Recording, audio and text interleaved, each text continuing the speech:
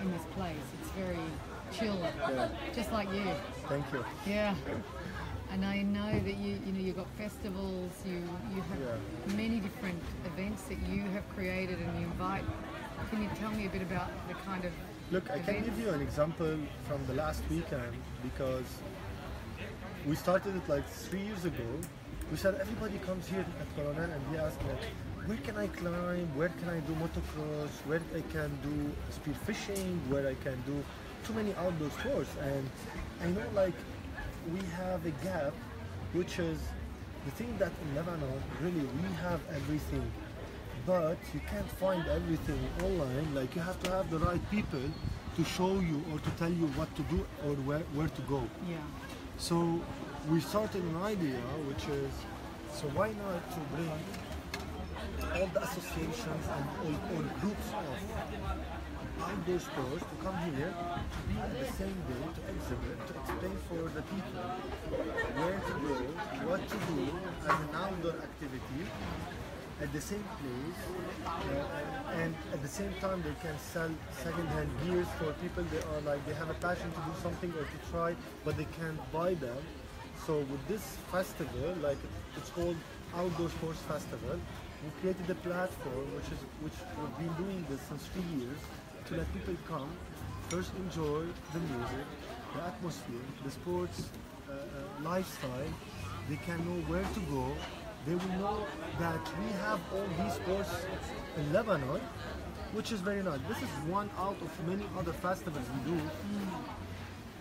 Fun, education, uh, Jazz. You have yeah, like jazz festival today. It's uh, it's about music. It's international, so we make the place international. We get expats, Lebanese. They know- now they know that jazz festival is now.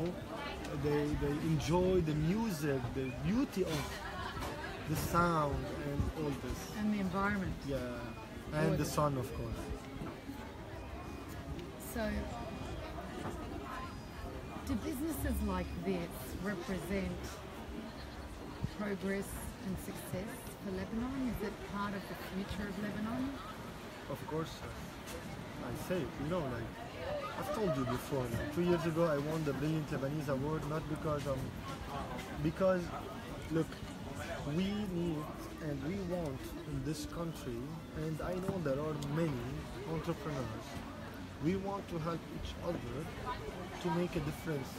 If everyone can make a difference this scale, even if it's very, very tiny, we can make a difference at the end of the day because we have to put all our effort for the better. If everyone, it's like you know, you throw the garbage from your car from the window.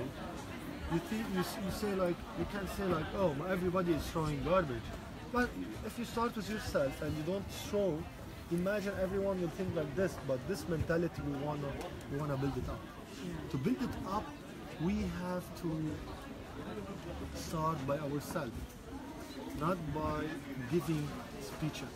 We have to start by ourselves. To start by ourselves, we have to be the examples, not giving examples. I'm thinking of a Michael Jackson song, Oh yeah, Man in the Mirror. yes, Gotta start with a man in the mirror. yeah, Yeah, so true. And that, that applies to people all over the world. It's a common message and a common value. People everywhere has have value to is the most important. Yeah, If you have it, you get everything else. yeah. If you don't, You got don't nothing. yeah, Yeah. don't even search for anything else. Doesn't mean anything, does No. it? Without value. No, it's yeah. boring. Yeah. So tell me a little bit about the water sports. You've got windsurfing, you've got paddleboarding, you've got Kayak.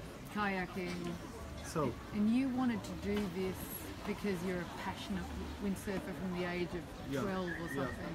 Uh, yeah, I told you that. It's my passion, and I know that the windsurfing in Lebanon it went down in the last 10 years. So when I got the opportunity to do this project with the help of the municipality of Batroun, I wanted to build back and to make Batroun a destination for, for the windsurfing.